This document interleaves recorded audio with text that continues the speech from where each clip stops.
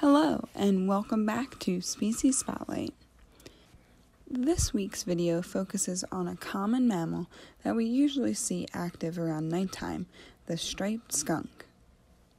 Striped skunks are mammals that are found all over North America.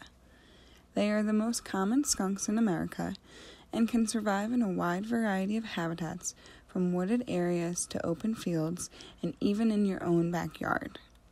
They are easily identified by their two white stripes going down the back and tail with a contrasting dark black coat.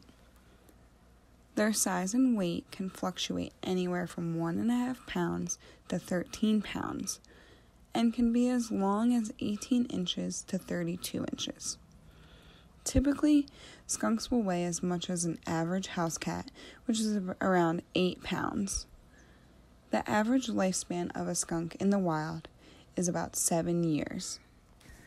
Skunks are omnivores, meaning they will eat plant matter as well as insects and even smaller animals. Food consists mainly of large insects like grasshoppers, beetles, and grubs, but they will also feed on mice, frogs, and even snakes whenever available. Plant matter usually makes up around 20% of their diet.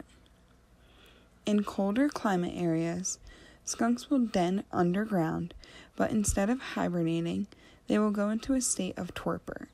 This just means that they become significantly more inactive, but may leave the den for short periods of time during warmer winter days.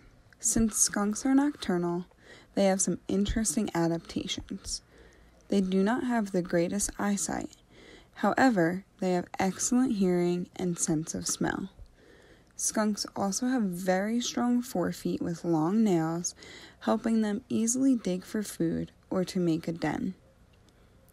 The most notable characteristic that makes skunks stand out from other mammals is their defense system.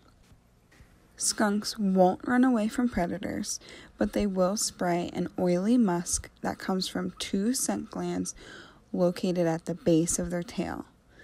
This releases a foul smell that can be detected over half a mile away. They tend to only use this defense mechanism when they are cornered or defending their young. Otherwise, they show war- other warning signs such as growling, shaking their tail, stamping the ground, and even spitting.